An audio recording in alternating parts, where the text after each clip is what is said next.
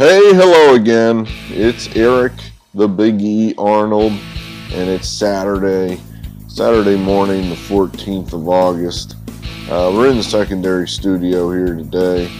Um, I don't know why we're here. I just I think the wife's out doing yard work, so it's an added uh, noise issue there. So I figured, well, we'll just do uh, do it here. Um, well, hey, let's hear it. All good things gotta come to an end. Is that true? Well, I guess as far as gambling, it does. No one wins forever. So, winning streak broken at 14 yesterday. Yesterday was our first negative day in probably a week and a half. Um, hey, well, you know, let's hear it. 14 in a row. That's not bad. You know, I'm not going to apologize for that. Uh, the Reds, the Reds. I bashed that team so much. I mean, I guess it was karma. It was due. Right, Sparky. Sparky says, "You got what's coming to you, buddy." Uh, so the Reds, uh, they're the ones that broke the streak, hammering the Phillies. They're uh, uh, six to one.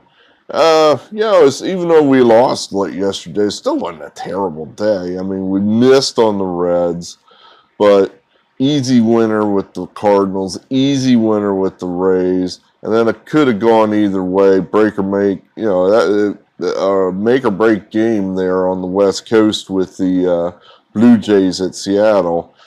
Um, that game could have gone either way. We got a guy thrown out at the plate in the top of the ninth inning, and then you know, just uh, the Blue Jays bullpen's not very good, and they uh, walked in the winning run that that's got it's easy when you're riding a winning streak to kind of just be philosophical when you have a loss like that, but doesn't it infuriate you as a fan when you bring in a bullpen pitcher, especially one that's supposed to be pretty good, and the bases are loaded. You gotta throw strikes. You can't just walk a run in and the guy just walks in. And in this case, on four pitches, Brad Hand just one, two, three loss, uh, or I'm sorry, one, two, three, four loss. it was, it, and none of the pitches were that particularly close. You know, I, maybe that's a spot where I don't live bet. I just, I think there's some people that are very successful at that sort of thing. People are smarter than I am that have an instant ability to calculate odds, uh, knowing that, well, in this situation, when the count is two and two, the chances of this happening are X. And the bookie is offering me odds of Y.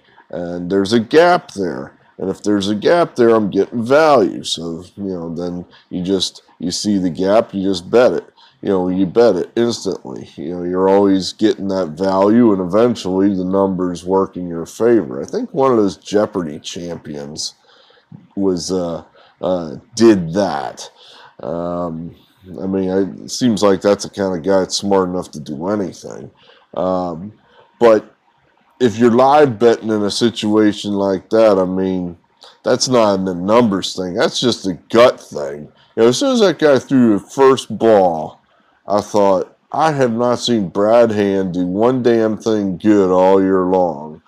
And I need this guy not to walk in the winning run. And I thought he's going to walk the winning run in. And it was a terrible hitter, too. That's, that's what it almost makes it like more likely he's going to walk the guy in. It just seems like this is so easy, man. Just don't fuck it up. This is just so easy. And then you know he's going to do it. And sure enough, so, eh, you know, not complaining. I'm just telling you what happened.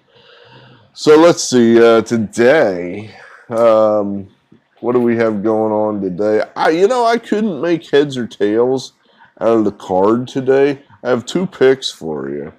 I'm just gonna kind of look down, up and down the card here. You know, the the you know these guys again against the Phillies. Um, the Reds. Yeah, it's Sparky Anderson and the Reds.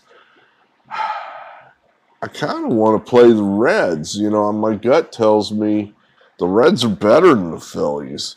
Uh, the odds tell me the Reds are better than the Phillies, at least today. Um, you know, the Phillies had put on a nice little spurt there, but now they're, you know, playing tougher competition and they're reverting to who they are. Uh, so I just, uh, you know, Wheeler did not come out and do his thing last night. That's probably going to deflate the team a little bit. I just, you know, I just I don't trust either team, so we'll just leave that one alone. I like the Red Sox. You know, there's a team I think you need to start looking at. The Cavalry's coming.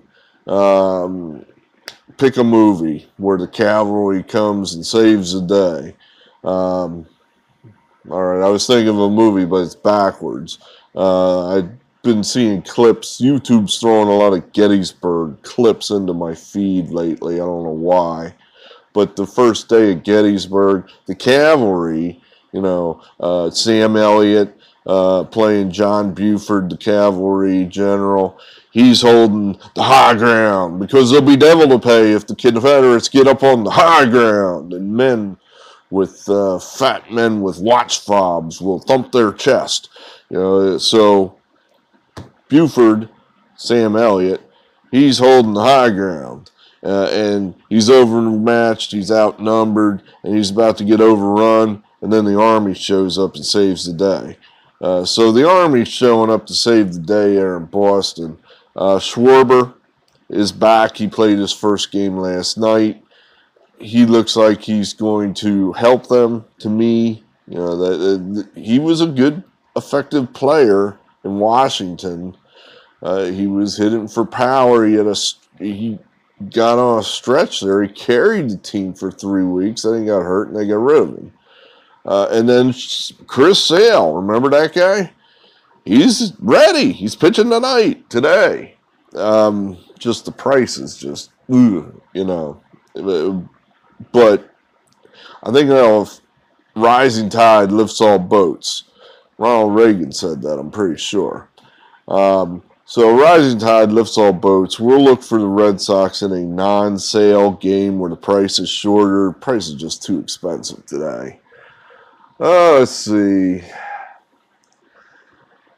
I, would like to play against the Cubs, but I didn't like the way the Cubs scored runs yesterday. Like they they didn't give up. I didn't like that. So I think the Cubs might be not as god awful as they appear to be. Maybe I don't know. Um, yeah, the, the, a lot of these prices are just you know, you, you, the Padres, they're they're way too expensive against you know right now Arizona looks like a live dog. Uh, they're getting some people back. They might not be as awful as they seem. Uh, the Rangers and Athletics, uh, another matchup where the price is just probably too high. You know, the the Rangers look like they had a couple guys uh, that you don't know. That's see, that's always one of those things where these dead weight, these teams are just completely dead. Um, when they start bringing up the prospects, then that makes them a little unpredictable. They, they I think they had some new guy named Pozo. he hit a home run last night for the Rangers. They had some other new guy hit his first home run last night. That makes me nervous. That means to me the Rangers might be improving and let's be careful about playing against them. So here's what we're going to do. Um, what are we doing? We're going to go against the Nationals. I think that the Braves are going to win the East. To me, that feels like a pretty safe bet at this point.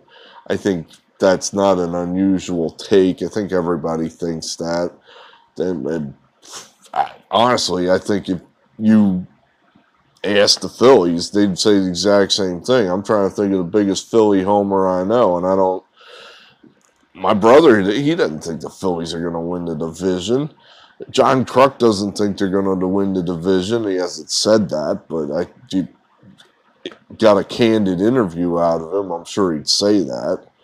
So yeah, I, the the Braves are going to pass the Phillies. They're just better, um, and the Mets are you know, I just saw Jacob DeGrom is out for another two weeks. You know, he's a guy without he's not coming back.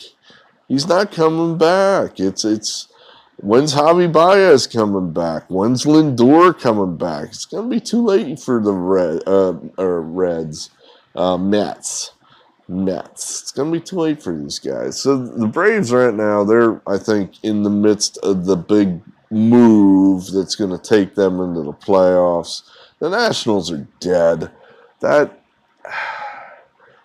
I think it's one thing to trade some guys, sell at the trade deadline, but then there's ways like the Nationals did it, the ways like the Cubs did it, where I think you just kill a team for the rest of the year. And then, and then possibly into next year, the way they did it. I mean, from the Nationals, it we traded Schwarber. He was under 30 on an expiring contract. It's like, okay, all right, well, fine, you know, a rent a guy. Didn't work out this year. Makes me wonder, what'd you bring him in for in the first place if uh, you were just going to move him at the deadline?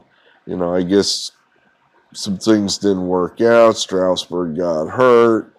Um, but then there's Trea Turner, a guy who has been a bedrock player for the Nationals franchise for the past five years. The guy's 28 years old. He's on an expiring contract. Probably their second best player. Maybe they're, you know, he's one of their three best players. He's been one of their best players over the last five years. He's going to be a good player for the next five years. And we're not even going to make an attempt to sign this guy. We're just going to dump him.